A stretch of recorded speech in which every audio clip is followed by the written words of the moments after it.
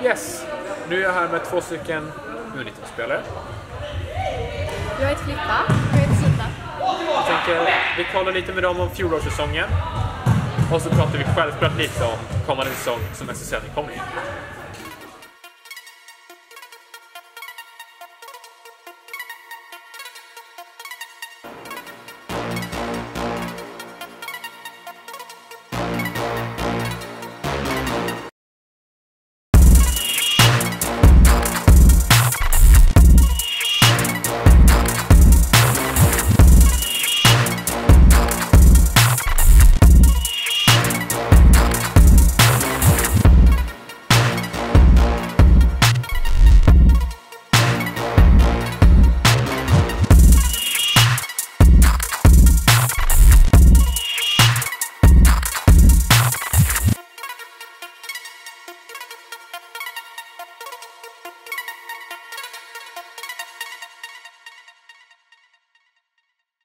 Yes, Filippa, förra säsongen gick väldigt bra på dig personligen. 36 poäng på 22 matcher. Nu är det en serie högre, lite svårare motstånd. Ska du producera även i år? Alltså jag hoppas ju verkligen det. Jag ska göra mitt yttersta så får vi se hur långt det räcker. Har du gjort något annorlunda för säsongen? Har du tränat på annat sätt eller? Jag har försökt gjort mitt bästa i eh, alla moment och eh, ja, som sagt, vi får se hur långt det räcker. Har du några några rutiner innan match? Högerdojan innan vänsterdojan? Är det något sånt som är magin bakom de där 36 poängen? Eh, nej, jag har en grej som jag gör i ringen. Yes. Jag brukar toucha alla klubbor Det är viktigt. eh, och så har jag en handrutin med Vilde också. Väldigt viktigt. Den är hemlig. Ja, Den är hemlig. hemlig. Den får vi inte säga idag. Nej. Uh, vilken klubba spelar du med? Jag ser att det är en Junior Carbskin, Exakt! 29 Flex. Ja. Flex heter det. Mm. Är det samma klubba som förra säsongen? Eh, ja, min, den förra var ju guldig, Yes. vet jag. Eh, men jag spelar med 2.0. Du spelar med 2.0, Ja. det funkar för dig. Ja, det funkar bra för mig. Gör du mer eller mindre mål än förra säsongen? Jag hoppas verkligen på mer, men det kommer bli svårt. Vi ska börja snacka om förra säsongen som gick över förväntan kan Mm. jag säga. Mm. Ehm, 26 matcher utan torsk. Mm. Hur känns det? Jo, men det känns eh, fantastiskt bra.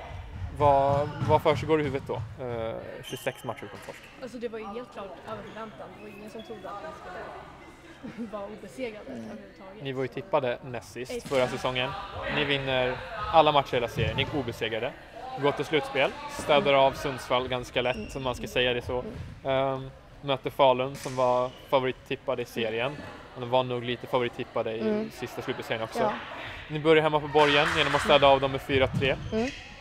Viktig seger. Mm. Hur, hur känns det att ta första segern på hemmaplan?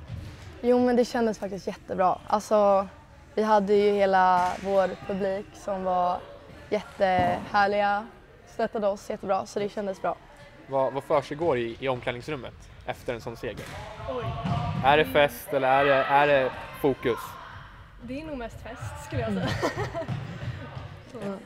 Ett par dagar efter, upp till Dalarna, spela i en relativt svårspelad Jallas Mm. Arena, även Mm. fast ni har tagit segern här tidigare i säsongen. Um, vad försiggick innan matchen? Vad, vad hände i omklädningsrummet? Vad hände på bussen upp?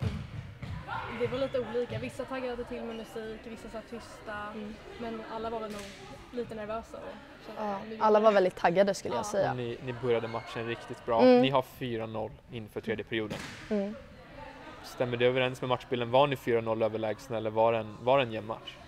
Alltså, jag tycker det. Jag tyckte vi var jättebra. Vi satte våra chanser och så, men alltså det blev ju jämnt. Så, Som ja. du säger, de, de reducerar ju. Det står Mm. 4-3, fem minuter senare. Mm. Vad, vad, vad känner man då? De gör tre mål väldigt fort. Ni tar en Mm. relativt onödig utvisning. Ja. Vad, blir man lite nervös då? Känner man att nu kanske vi tog ut segern i förskott eller? Alltså, jag var inte riktigt jättenervös. Alltså, jag kände ändå att vi kan ta det här liksom. Men det är såklart, man blev lite, lite nervös. Och ni gör ju som sagt Mm. 5-3. Ja, superskönt. Verkligen. Det väl inte så mycket mer än att säga. Det sen finns ju faktiskt den här riktigt goa bilden på dig när slutsignalen går där. När du Ja. hoppar nästan över keepern. Ja. Vad, vad känner man under slut, slutsignalen där? Jo, men alltså det var bara glädje. Alltså, det var ett fint ögonblick skulle jag säga, absolut. Ja. Och Det nu, kändes overkligt. Ja, jätteoverkligt. Ver- Ja. och nu är det SSL till nästa säsong. Mm. Vad har, vad har du för målsättning personligen till att börja med? Oj, en ganska svår fråga Mm. skulle jag säga. Alltså det är väl utvecklas som spelare. Kanske, man har väl lite U19 som ett mål också Ja. själv. Men hjälpa laget. Vad tror, vad tror laget då? Eller vad tror ni om laget ska vi säga? Eh, ni är tippade näst sist av innebandymagasinet. Mm. Men det säger väl kanske inte så jättemycket för ni var tippade lågt förra Mm, säsongen också. Exakt. Men jag tror det är bara till vår fördel. Ja, Gå in som underdogs. Vi har alltså ingen press på oss. Vi kan bara göra vårt. Och så får vi se hur långt det räcker. Ingen känner, har ju press på oss. Liksom. nej, vi brukar ju vara underdogs. Ja. Så det känns lite, det Mm. känns hemma. Det är någonting ni trivs i helt Ja. enkelt. Ni är båda två uttagna till U19-läget. Mm. Hur känns det? Det känns stort. Som att det liksom börjar närma sig lite också, att det börjar bli på riktigt. Så det kommer ju en kommande landslagsturnering. Mm. Är den ett personligt mål för båda två? Är det någonting som ligger i bakhuvudet och gror? Även fast ni är lands SSL-nykomlingar? Mm. Ja, ja, gud ja. Det är verkligen ett mål jag haft sedan jag var jätteliten. Det vore helt otroligt att komma med. Ja, verkligen. Om jag säger att ni spelar, spelar den kommande landslagsturneringen, vad säger ni då?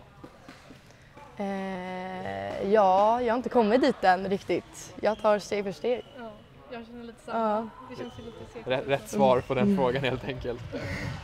Ja, Tack för att ni kom hit. ja tack själv. I nästa avsnitt av Flinken träffar Nacka Wallenstam, nykomlingar i SSL. Så fortsätt tippa oss sist, det är bra liksom. Det taggar bara truppen. Det gillar vi. Det gillar ni. Mm. Vad har ni suttit för målsättning hos, hos truppen då? Ja, då borde man kanske sätta målsättningen att vi ska hålla oss kvar. Vi är ju nykomlingar, men Precis. det är ju så tråkigt. Så att vi har faktiskt satt målsättningen att vi ska komma topp 8 och få spela slutspel.